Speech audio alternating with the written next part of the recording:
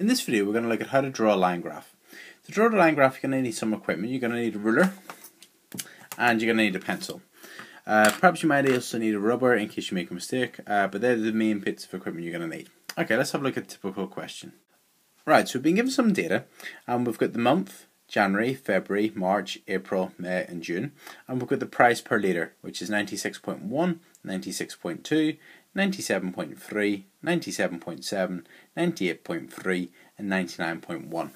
So the question has asked us to show this data or show this information on a line graph. So let's do that.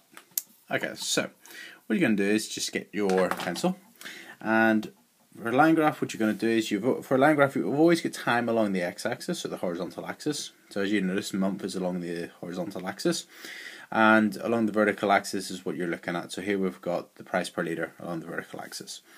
Uh, we've labelled the horizontal axis with January, February, March, April, May, June, and notice we've got equal spaces between months. So we've got two li the little boxes across, or ten of the little small boxes across for each of the months. Okay, so the first one was January 96.1. So we go to January and we go to 96.1. Let's just double check along the vertical axis what each one of the small boxes is worth. So you've got 1, 2, 3, 4, 5. So halfway, 95.5. So that'd be 95.1, 95.2, 95.3, 95.4, 95.5. Yep. So each one of the small boxes is worth 0.1. So 96.1 would be January, and 96.1 would be like that. And you put a cross there. The next one, 96.2, so February, 96.2. And put a cross. March, 97.3, March, 97.3. April 97.7, so 97.7.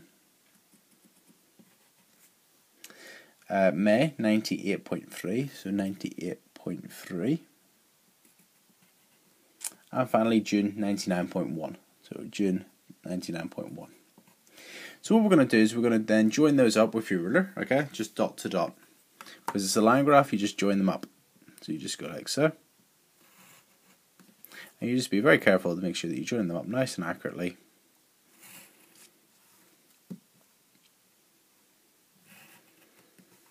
Okay, and you just do one at a time. Don't be tempted to do more than one at a time. And there you go. Okay, so there we've drawn a line graph. Okay, so that's how you draw a line graph.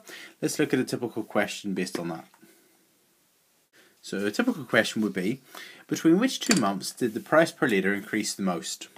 So we're looking for the biggest increase. So if you're looking for the biggest increase in a line graph, what you want to do is look for the steepest line segment. So here, here, here, here, and here, are the line segments. The steepest one I can clearly see is between these two points.